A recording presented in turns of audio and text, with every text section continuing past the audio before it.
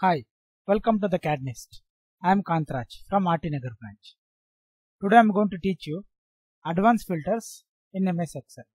So in Excel we have the data menu, here we have the filters and one more is advanced filters.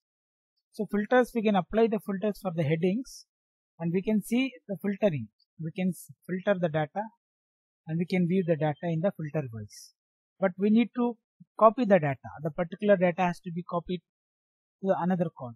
Suppose if we have here the employees database, in this employee sheet, we have the employee name, the employee working department, and the status if it is a full-time or part-time or hourly or half-time, and what the salary of the employee.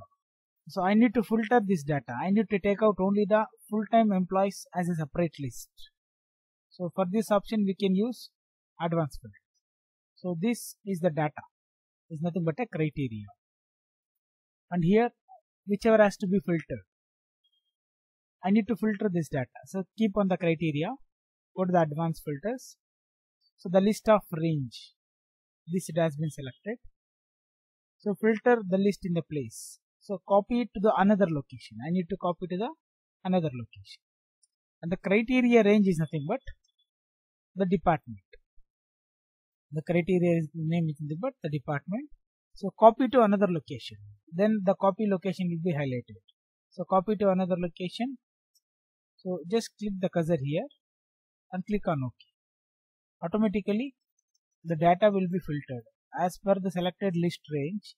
In the selected list range, the criteria range as per the department, it will be filtered and shared to the copy to the another location. So as per the department ADC, there are only two employees. It has been copied here. Suppose I need the salary of the persons who whoever is greater than 40,000. So then click on the list range, advanced filters. So the list range will be the same option. Copy to the another location. But the criteria range, select the criteria range. So here the location, click anywhere the location and click on OK. So here the data will be copied. Whoever the salary is more than 40,000, so those persons will be copied here. And I need hourly basis. So click on the list range, advanced filters, copy to the another location.